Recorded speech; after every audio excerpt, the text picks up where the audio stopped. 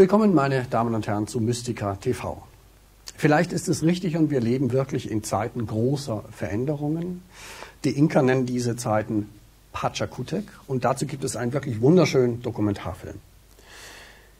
Jetzt habe ich den Protagonisten dieses Films hier und die Regisseurin, nämlich Anja Schmidt und äh, Naupani Puma. Herzlich willkommen. Dankeschön. Gracias.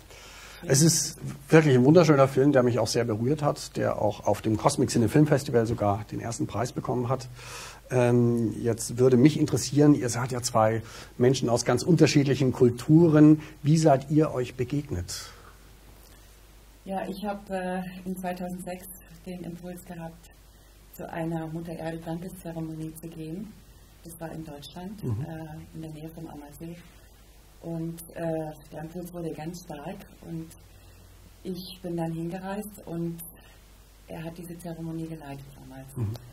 Und ich hatte sofort eine ganz, ganz tiefe Verbindung mit ihm. Und äh, habe dann das Gefühl gehabt, nach der Zeremonie mit ihm zu sprechen, mich ihm vorzustellen. Und dann sagte er zu mir, schön, dass du gekommen bist, ich habe dich schon erwartet. Und da, da war irgendwie unsere Freundschaft besiedelt. Wir haben dann viel Zeit in der Natur verbracht danach. Er hat mich vieles gelehrt, erstmal auch über die Natur. Und er hat mir dann erzählt, dass jetzt seine eigene Bestimmung in Kraft kommt, dass er einen Pilgerweg gehen wird um die Erde. Ähm, das weiß er von Geburt an, wenn diese Zeit gekommen ist, dieses Pachakutik angebrochen ist in 2007, dass er dieser Bestimmung folgen wird. Und seine Aufgabe wird sein, bei diesem Pilgerweg mhm. Erkenntnisse zu sammeln für diese Zeitenwende. Und ich als Filmemacherin habe sofort reagiert, ähm, wusste, das ähm, ist etwas, was ich begleiten möchte. Und dann habe ich ihn zaghaft gefragt, ob er die Möglichkeit sieht, dass ich ihn begleiten kann mit der. Kamera. Und dann sagte er zu mir, nein, also das ist gar nicht möglich, die Möglichkeit sieht er nicht, weil das ähm, würde bedeuten für ihn, dass ein altes Tabu gebrochen wird. Mhm. Er hat immer gesagt, ähm, diese technischen Geräte, das beeinflusst den Geist, verwirrt den Geist und ähm, mhm. er möchte das nicht. Ah ja, und doch ist es allmählich dann zu diesem Film gekommen. Ähm, bist du schon immer wieder vorher auch schon in Deutschland gewesen oder wann war deine erste Begegnung mit Deutschland?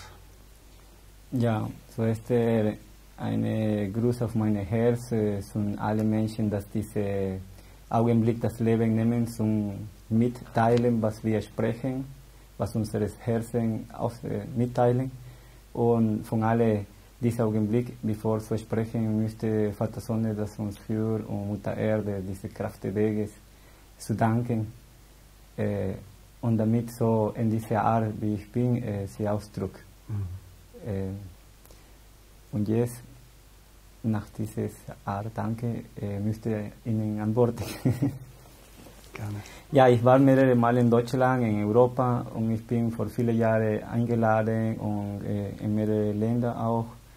Und da habe ich auch äh, von Südamerika selbst Projekte, dass ich hier äh, meine Visionen zum Erfüllen äh, kommen sollten.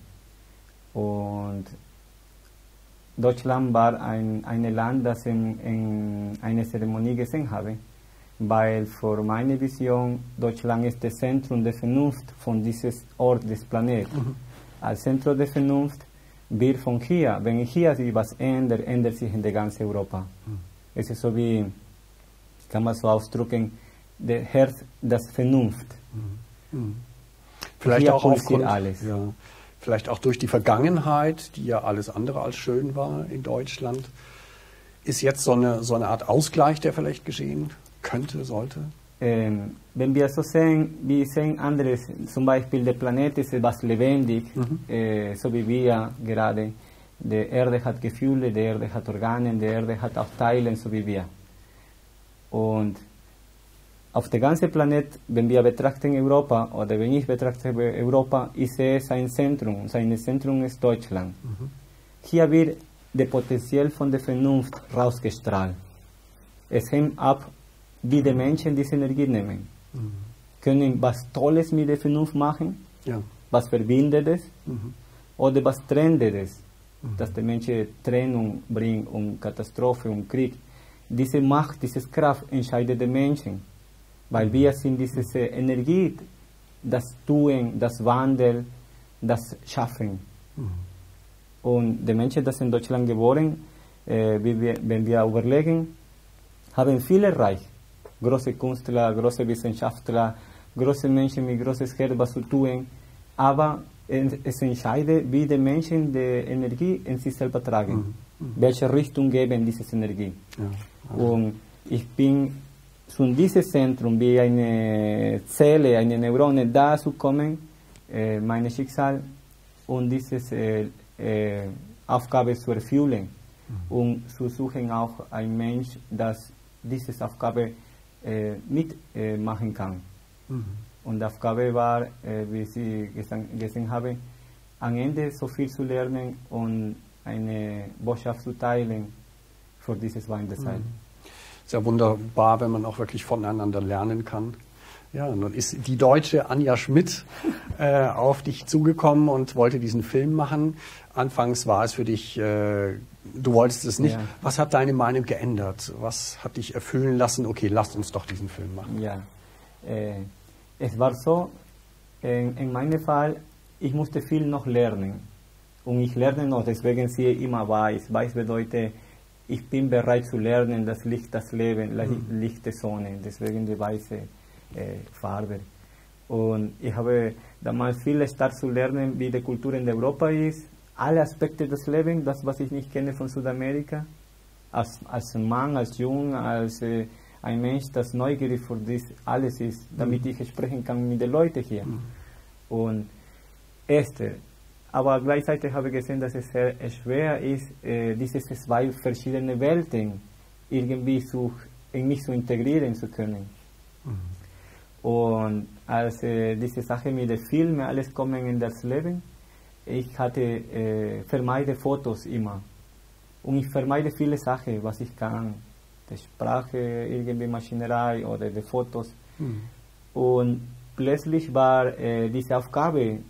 Und, und dann, weil ich sie äh, gesehen habe in einer Vision, habe ich mit ihr Kontakt gehabt. Und da habe ich sie erzählt und die hat mich schon gefragt, ob sie da drehen könnte. In einer Vision noch bevor du ihr persönlich ja. begegnet bist. Ja.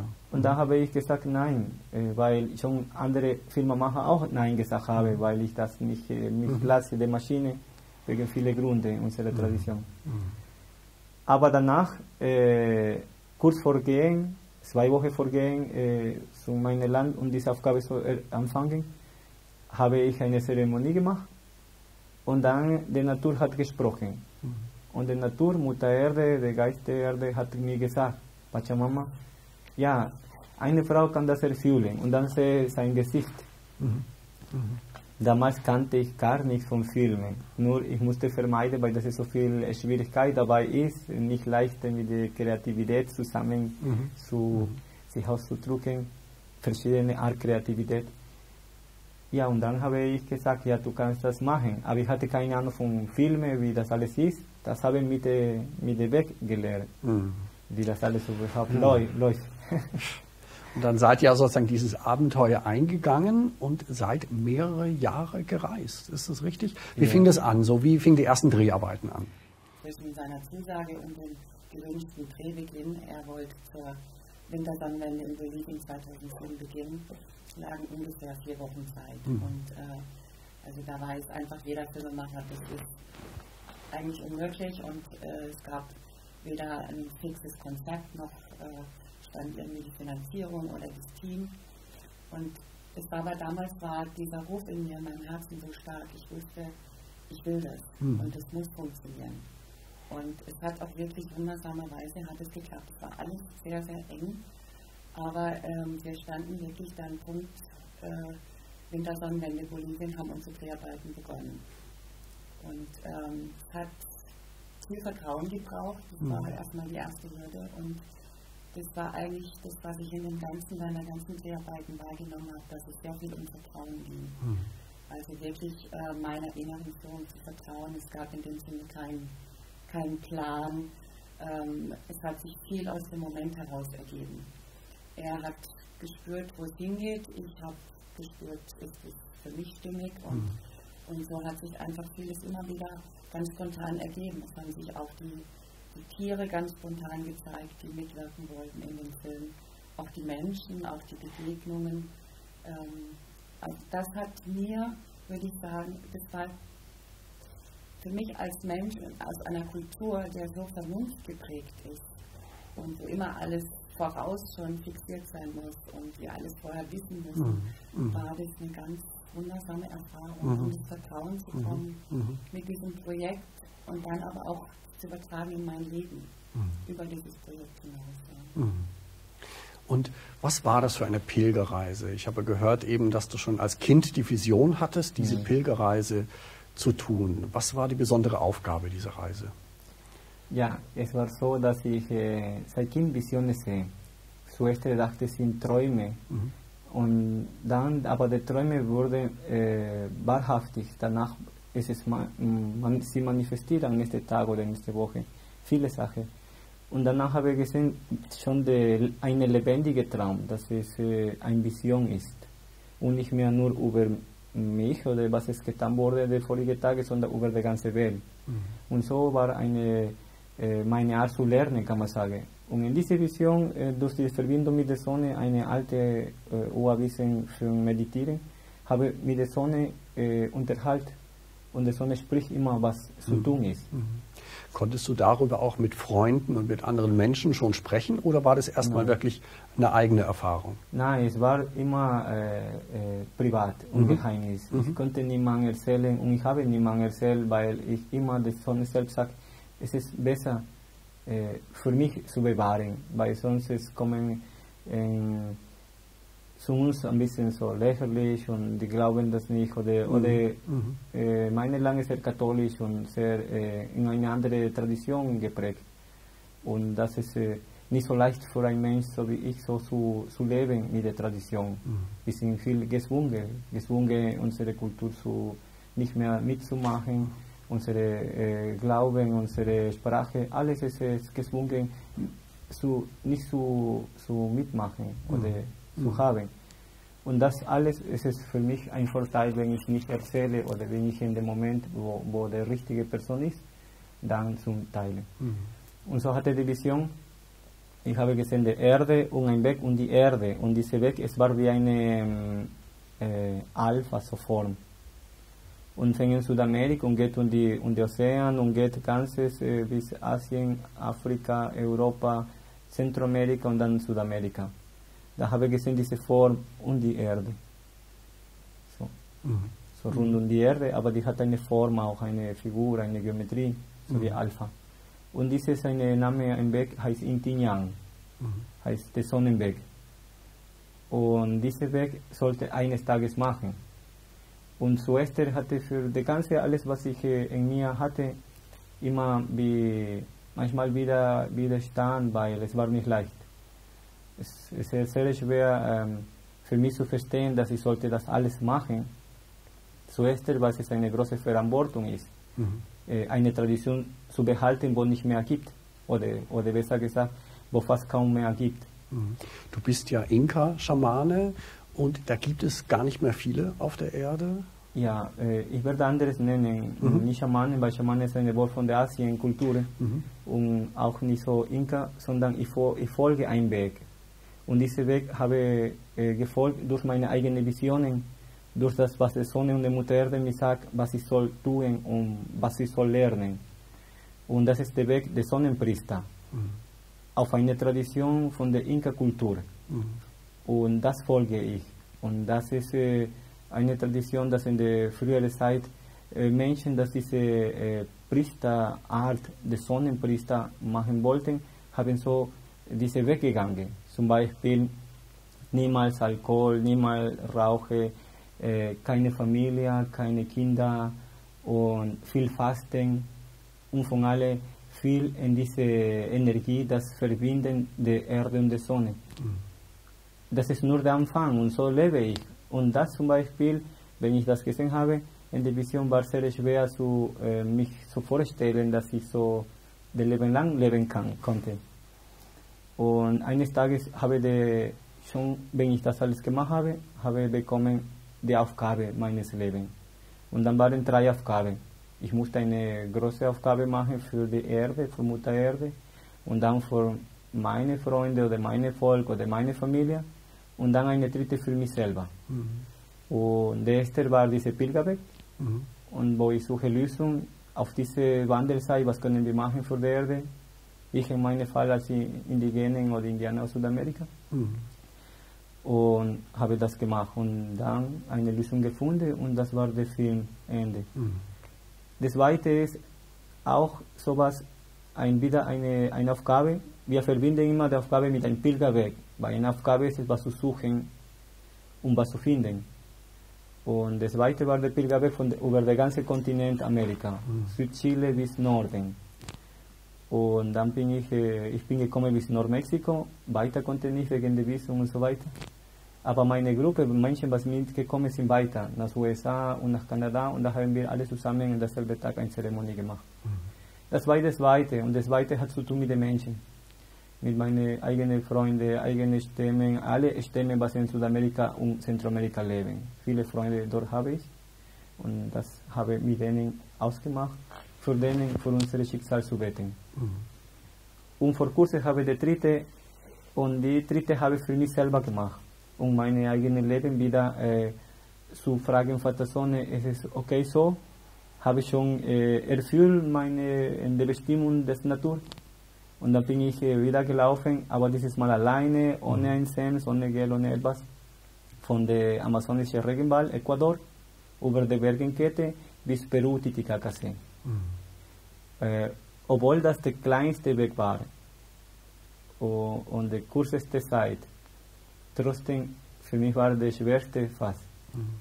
Das Pers war persönlich. Ja, tief, das war intensiv. Ja. Ich habe, ich dachte, der und die Erde drei Jahre zu laufen ist, war genug. Dann dachte ich später, der ganze Kontinent durchlaufen über neun Monate war auch genug und auch schwer. Und mit dem Rucksack von alle, alles zu tragen und schwer. Aber dieses Kleine habe erfahren, der eigene Weg zu gehen, sich mhm. selber sich zu sehen nochmal und sich selber sich zu aufräumen, was nicht im Gebrauch wird für dieses Wechsel und das Wachstum, ist sehr schwer. Ja, ja. In der spirituell. Ja. In der physischen war es schwer, weil eine, einmal bin ich äh, verlaufen, äh, 5000 Meter ungefähr, der Nebel kam und dann finde ich nicht mehr den Weg. Mhm. Und dann war schon in der Spitze dieses Berges, mhm. Ocongate da in Peru, und dann war für mich sehr schwer, sehr kalt, nass, alleine. Das war auch eine sehr starke äh, äh, äh Beziehung in mir ja. selbst. Mhm. Ganz alleine, weil immer waren Leute in der ersten Pilgerweg, in der zweiten Pilgerweg, in der dritten, der Bestimmung des Vaters und sagt, ich muss alleine diese Weg gehen. Mhm. Und das war äh, doppelt intensiv, mhm. weil ich mir selber nur erzähle. ja. ja. Sehr, sehr berührend. Ja, also das, äh, es gibt ja auch den Jakobsweg, es gibt auch das Pilgern im christlichen Kulturkreis. Das würde ich gerne noch etwas mehr verstehen. Was ist das Besondere, wenn ich pilgere, wenn ich äh, durch Laufen mir vielleicht, ich sag mal, Erfahrungen erarbeite? Wie ging es dir dabei? Du bist ja sozusagen im Grunde immer wieder mitgepilgert. Was hat das sein, was hat, wie, wie hat es dich verändert, diese Reisen mitzumachen? Die Reise hat mein Leben verändert, mhm. auf jeden Fall. Ich würde die Reise nicht nur definieren auf die physische Reise, die wirklich stattgefunden hat, sondern ähm, also das Projekt hat einen Lauf genommen von insgesamt drei Jahren. Das war da waren Reisen drin, aber die Reise selbst ging jetzt auch nicht drei Jahre. Das war auch immer wieder unterbrochen. Er ist auch alleine gepilgert. Ich war nicht immer dabei. Ähm, trotz alledem würde ich mal sagen, es war für mich auch eine dreijährige Pilgerreise, mhm. innen und außen. Ähm, ich bin mit ganz vielen Themen in Berührung gekommen, die mich als Mensch ausmachen. Ähm, also so wie man auch wirklich einen klassischen Pilgerweg, glaube ich, empfinden würde. Ähm, ich habe viele, wie soll ich sagen, auch Herzensthemen, die nicht verarbeitet waren, ähm, Themen mit der Familie aus der Vergangenheit. Also im Grunde vieles, was in dem Film passiert ist, die Heilung der Vergangenheit, ähm, habe ich auch durchlaufen. Also mhm. diese drei Jahre war wirklich eine starke Konfrontation mit der Vergangenheit und mit dem, was war. Und was halt passiert bei so einem Pilgerweg, es kommt erstmal ins Bewusstsein, es muss auch ins Bewusstsein kommen, es muss fühlbar werden, es muss spürbar werden. Ähm, es kamen auch Schmerzen, es kamen Verletzungen. Und ähm, dann kam eben auch der Weg in die Transformation. Ähm, mhm. Es hat sich dann auch vieles geheilt. Also mhm. ich habe gemerkt, auch in dem Moment, wo es bewusst wird und wo wir es spüren und wo wir es vergeben können, mhm. ähm, findet ein Annehmen statt. Und Annehmen heißt loslassen. Und das habe ich wirklich gelernt in diesem Film. Ähm, dieses Annehmen, dieses Hinschauen und das ist auch das, was mit seiner Kultur passiert, weil es wurde sehr, sehr lange, wurde es ganz tief weggesteckt, auch mhm. in, innerhalb der eigenen Kultur. Der Schmerz wurde nicht angenommen, mhm. nicht angeschaut. Und in dem Moment, wo wir ihn anschauen, wo wir ihn erlauben, ähm, geschieht schon sowas. Die Transformation ja, geschehen. Ja. Und, und, so habe ich das auch in meinem eigenen Leben erlebt. Mhm. Eine der für mich zentralen Aussagen des Films äh, ist ja auch, äh, wo du sagst, äh, wir müssen die Erde heilen. Wie können wir das tun, indem wir uns Menschen heilen? Und wie können wir das tun, indem wir unsere Vergangenheit heilen? Mhm. Ähm, es war für mich auch sehr berührend, bei der Filmvorführung im Cosmics in dem Filmfestival zu sein, weil auch da wart ihr beide schon anwesend und du hast äh, jedes Mal auch ein Ritual gemacht für alle Gäste. Und irgendwie hatte ich das Gefühl, viele der Zuseher sind sich dann auch bewusst geworden, wir alle müssen uns noch mehr der Vergangenheit bewusst werden, um sie zu heilen. Also jetzt weniger sich immer wieder an die Schrecken und Gräueltaten zu erinnern, aber würdest du auch sagen, da ist noch ein Stück weit Arbeit nötig für uns Deutsche? Schwere Frage. also ich glaube, das ist ein Thema, das würde, man, würde ich jetzt nicht bewusst angehen. Ja, ja. Ich, glaube ganz bestimmt, dass wir, dass wir alle äh, in gewisser Weise Altlasten tragen, Energien, die nicht erlöst sind von unseren Vorgängern, von Vorgänger, Vorgängergenerationen, mhm. von mhm. den Eltern. Die werden einfach weiter transportiert. Was ich wahrnehme, ist, dass jetzt in dieser Zeit des Wandels es so, als würden wir alle auf den Nullpunkt zu laufen. Wir sind, viele von uns sind die Letzten in dieser ganz langen Ahnenkette. Mhm.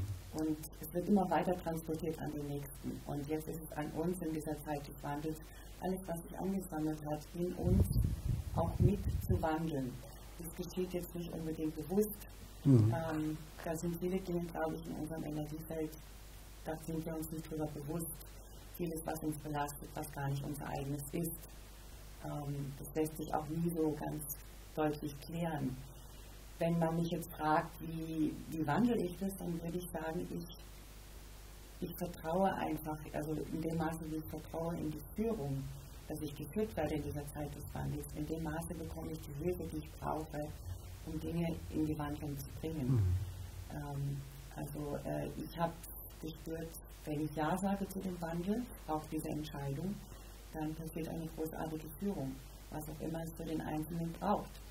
Ja, also der eine braucht eben diese Art von Seminar, der andere braucht einen Pilgerweg, aber ähm, sobald ich dieses Ja gegeben habe, ähm, diesen Wandel zu vollziehen in mir, ähm, kommt automatisch, setzt sich etwas in Gang in mir, meine eigene Führung, die mir den Weg zeigt. Mhm.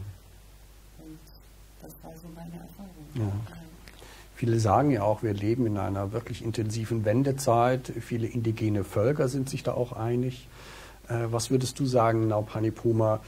hilft uns Menschen, diesen Wandel leichter zu vollführen. Also Anja hat ja schon ein bisschen was darüber erzählt. Mm, ja. Ich werde etwas noch dazu sagen, was die mhm. Frau Schmidt äh, gerade uns mitgeteilt hat. Esther, dieses Ort, wie gesagt, Deutschland ist das Zentrum von der Vernunft. Und da ist schon ein Vorteil, wenn man hier was tut, dass man dieses wie, wie, eine, wie gesagt, wie ein Zentrum, ein Neuronenzentrum, wo alles wir später mitmachen mussten. müssen. Das Zweite, Deutschland hat ein englisches Schicksal gehabt. Mhm. Deutschland hat auch äh, äh, erlebt, was bedeutet, eine Volk der andere Volk äh, unterdrücken oder vernichten. Und dieses Bewusstsein heute, der Volk von heute, ist es bereit, sich zu sagen, ja, wir haben das gelöst, das war eine Lehre von uns, diese Tat und alles überhaupt, was hier in Deutschland passiert. Und wir sind, kann man so sagen, einen Schritt weiter gegangen mit der Erfahrung, um heute zu sagen oder zu erleben, was ist Frieden, was ist Liebe zu den anderen Menschen. Weil wenn wir ja nicht hätten es, vielleicht heute werden neugierig, was ist ein Krieg, mhm. was ist mit anderen Streiten. Aber durch diese Erfahrung, dass euch erlebte mussten, heute der Mensch kann spüren und 100% wissen, was ist Frieden miteinander. Und vermeiden das, was nicht gefällt. Keine mag dieses Kriege und dieses äh, der andere Volk äh, vernichten oder mhm. unterdrücken. Mhm. Diese Zeit ist gekommen, in diese Ort des Welt, Deutschland. Bei eurem Schicksal hat die ganze Welt prägniert. Es ist nicht nur Deutschland und die Geschichte mit Deutschland, es war ein weltweiter Krieg. Das bedeutet, Deutschland hat beeinflusst das ganze Bewusstsein der Erde. Mhm. Und der Vorteil ist, dass heute ihr können verstehen, dass das kein Weg ist, sondern dass ein neuer Weg ist, der Weg des Wandels, umwandeln und transformieren in das Frieden, in das Zusammensein, in das Zusammenkommen und zusammen zu verstehen, was der andere braucht, mitfühlen der andere. Mhm. Diese Ganze gibt mir die Möglichkeit, hier, ich muss suchen Menschen, die das verstehen. Und deswegen hier, erster, weil die Energie von hier kann schneller rauskommen, wenn hier der Bewusstsein sich so annimmt. Mhm. Und zweite, weil ihr Erfahrung haben. Es ist so wie, meine Erfahrung haben ihr auch. Ja. Und heute, wir nachkommen, können wir sagen, ja, es ist vorbei, diese ganze mhm. Ähm, mhm. Krieg und, und nicht mögen, unterdrücken, diskriminieren. Heute zeigen wir, wir sind eine Familie. Mhm. Das deutsche Volk heute hat diese Aufgabe, zu zeigen der Welt, ihr seid eine Familie. Ja. Und das ist diese Schöne daran, wenn der ganze Volk einmal sie bewusster macht, ihr könnt der Welt zeigen, wir zeigen so viele Medizin und, und, und, Industrie und Chemik und so viele Sachen. Aber die Hauptsache in der spirituellen Welt zu zeigen, dass ihr eine Familie geworden seid, dass ihr das nicht mehr gebrochen könnt. Keine dunkle äh, Manipulation von Energie kann euch beeinflussen, etwas in die Trennung zu gehen. Und das ist eure Schöne in dieser Geschichte der Welt. Mhm. Unsere Chance ich, auch, ja, aber ich, auch Verantwortung. Ich, ich äh, werde mich wünschen, dass euch verstehen. Vielleicht meine Sprache ist noch nicht so weit, dass ich feine Sachen zu sprechen. Ja, aber ich denke schon, doch, ja. wir verstehen dich ganz gut. Ja. ja. Das ist mir wichtig zu sagen. Dieses Volk hat dieses Wunder Welt beizubringen, weil der Erfahrung dahinter ist. Ja, also ja. aufgrund der vergangenen Erfahrung der Vergangenheit haben wir eine besondere Verantwortung, haben aber auch das Wissen darum, was wir verändern können. Ja, ja. das ist zum Beispiel das, was ich schon noch dazu sagen könnte äh, dass ihr genauso wie wir, wir wissen, was es passiert und wir können heute nach vorne gehen mit dem äh, Wort Frieden, Liebe oder mhm. eine ver vereinige Familie in der ganzen Welt. Mhm. Und keine Deutsche kann jemand sagen, mach einen Krieg, weil mhm. wir werden das nicht machen. Mhm. Du hast ja. selbst auch gesagt, dass dein Besuch hier in Deutschland auch dich selbst noch mal mehr geheilt hat, dich ja. mehr versöhnt hat mit deiner Vergangenheit. Stimmt das? Ja, das war, das war ein, das war ein großer Schritt. Und äh, der andere Thema zu beenden, besser zu verstehen, der Publikum, wir sind niemals getrennt. Ja. Ich hoffe, dass jeder Mensch versteht, dass, dass äh, wenn sie sich beobachten, sagt, nein, aber was habe ich zu tun mit der Vergangenheit? Das wäre zu egoist. Mhm. Das wäre zu sagen, ich gehöre nicht zu der Welt, ich bin von irgendwo einfach mhm. gelassen, heute mhm. sterbe und wieder raus. Nein, wir haben eine Kette hinter uns. Mit mir laufen so viele Ahnen. Mhm bei denen selber ich bin heute und hinter ihnen auch und hinter jedem Mensch ist eine Verbindung, das untrennbar ist. Und in dieser Verbindung kann sein, dass ein Krieg geworden ist oder was Schönes geworden ist. Und sie sind nur das Resultat dieser Vergangenheit. Und auf diese Gesetzmäßigkeit der Natur und der geistigen Welt kann man sagen, ja, dann weiß ich schon, was ich zu tun habe heute. Mhm. Und was ich nicht möchte machen auch das ist vielleicht äh, auch der Zuschauer zu verstehen in dieser Weisheit, dass ja. nicht ja. ist getrennt. Ja.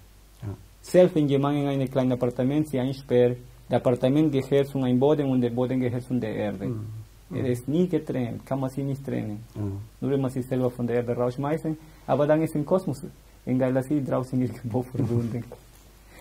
Sehr schön, ja. Und das ist ja auch ein, ein Wissen, das selbst in der Wissenschaft immer deutlicher wird, dass alles miteinander verbunden ist, auf ganz unterschiedliche Art und Weise.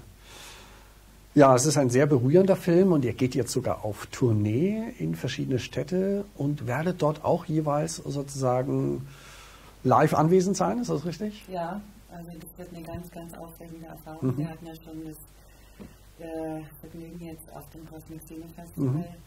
dabei zu sein und das ist natürlich ein ganz großes Geschenk jetzt nach so einer langen Zeit. Ähm, eine weitere Pilgerreise, ne? ja. ja. Also da jetzt auch wirklich in die Berührung zu gehen und Film ist ja auch irgendwie doch mal ein bisschen was Abstraktes. Ja. Aber unser Wunsch ist einfach, das auch zu verbinden. Mhm. Ähm, mhm. wirklich auch in die Begegnung zu gehen mit den Menschen, in die Berührung, ähm, auch durch Zeremonie. Also es soll einfach noch mehr werden als einfach nur diese Leinwand. Und ich habe auch wahrgenommen, dass ähm, gerade bei diesen Filmen, dass die Menschen eine große Sehnsucht haben, das, also daraus ein Erlebnis zu machen. Mhm. Also ähm, wo mehr dabei ist, als jetzt da allein auf deinem Stuhl zu sitzen. Mhm. Sie wollen auch wirklich dann in Berührung gehen und Gespräche haben und sich austauschen und, und fühlen. fühlen. Das ist unsere ganz große Erfahrung mit diesem. Film. Mhm. Ja. Wunderbar. Ja. Dann danke ich euch sehr. Äh, ähm, ja, bitte. Mm, Sie haben mich gefragt. Ich, ha ja. ich habe äh, alles so wie euch eingeordnet. Gerne, bitte. Ja. Sie haben gefragt, äh, was mir beigebracht hat oder was ich habe gelernt. Mhm. Und vielleicht das ist ähm, äh, auch interessant zu sehen, was ein Mensch von einem fremden Land hier lernen kann. Ja, hier kann man auch viel lernen. Und von allen Menschen, das vielleicht als Kind nicht, nicht gemocht habe.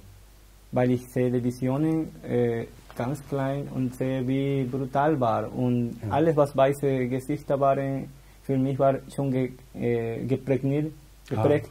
Menschen mit weißen äh, Gesichtern, gefährlich. Ja. Äh, äh, und das war ja. auch für äh, viele andere Freunde von mir, von anderen Stämmen, mhm. andere Städte, Dörfer, dass sobald wir die spüren, was das bedeutet, unser Schicksal, haben eine Abneigung. Mhm. Die wollen nicht diese Nähe haben. Und wenn Nähe ist irgendein Interesse dabei, aber der Herz öffnet sie nicht. Mhm. Und ich war eine von denen, ich hatte auch klar äh, meine Meinung, was das war der Geschichte. Ich habe gesehen, mir hat niemand beigebracht. Sonne hat mir, äh, der Vater Sonne hat mir gesagt, ich habe gesagt, das ist unsere Geschichte. Und das war traurig. Aber hier in Deutschland und in Europa habe ich angefangen, den Menschen zu lieben. Und kann man so sagen, dann hat sie das Herz geöffnet und zu sehen, dass in Essenz wir sind eine Familie und die Farbe oder die Rasse oder, oder die Herkunft spielt keine Rolle. Aber zuerst musste ich hier zuerst das lernen. Mhm. Ich habe zum Beispiel äh, am Anfang keine Fotos und keine diese ganze Maschinerei und habe gesagt, ja, sie kann das machen. Aber dieses äh, Verstehen, diese äh, Kultur, dieses Art zu denken, für mich war fast unmöglich am Anfang. Ist das dann für dich sehr abstrakt, dieses Denken am Anfang gewesen, oder sehr theoretisch oder wie würdest du das beschreiben, der Unterschied? Diese abstrakt zu denken ja. ist lebendig. Äh, meine Art zu denken. Nein, wie du unser Denken am Ach Anfang so. empfunden hast, wie das für dich war. Oh, das war, das war äh, eine große, äh, wie ein Comicfilm, weil äh, ich denke anderes als Sie. Ja. Heute vielleicht können wir in eine Mitte kommen, aber am Anfang nicht. Am Anfang ich, wenn ich in Südamerika war, dann bin ich in meiner Welt. Mhm. Dann ist es anders als hier. Hier muss ich mich benehmen, der, wie die Gesellschaft verlangt mhm. oder das System mhm. verlangt. Und das ist schwierig für mich, aber ich mache mit. Und als wir gepilgert, dann waren unter meiner Bestimmung. Mhm. Ich wusste noch nicht, was es Drehen und Kamera und die ganze. Und ich bin nur einfach gelaufen, durchgelaufen und sie äh, für diese Sache heute weiß ich, müssen sie vorbereiten, Kamera einschalten, Quadern, diese ganze äh, so anrichten. Aber ich habe gepilgert mhm. und ich konnte das nicht verstehen, dass die mussten Zeit gebrauchen. ja, ja. Du musstest dann wahrscheinlich oft sehr schnell sein, oder? Ja, es war, es war einfach immer aus dem Moment. Mhm. Ja, wir mhm. immer, mussten immer gleich vorbereitet sein. Er ist einfach gelaufen. Ja. Und wenn ich gesagt habe, du kannst vielleicht noch mal kurz irgendwie was wiederholen, das habe ich nicht bekommen, dann sagte er, wieso, das habe ich jetzt gerade gemacht, das mhm. kann ich nicht nochmal machen. Mhm. Mhm. Darauf habe ich mich eingestellt. Ich wusste auch, dass das kann auch gar nicht anders sein. Mhm. Und äh, es hat trotzdem Sehr schön, ja. ja. es war sehr schwer. Und die Sprache. Mhm. Ich konnte mhm. ein bisschen was, aber ich konnte nicht so wie jetzt. Mhm. Und sie konnte auch nicht Spanisch so, wie, so gut, damit mit mir alle Details sagt. Und das war die Sprache, eine von den großen Problemen. Aber weil ich jeden Tag in der Früh meditiere, dann ich habe die Vision gesehen, ah, das wird, das wird, das wird ungefähr, und dann habe ich sie erzählt. Ja. Und sie hatte, die, die, die Schöne in dem Team und von allen in ihr war, dass ich hatte 100% Vertrauen.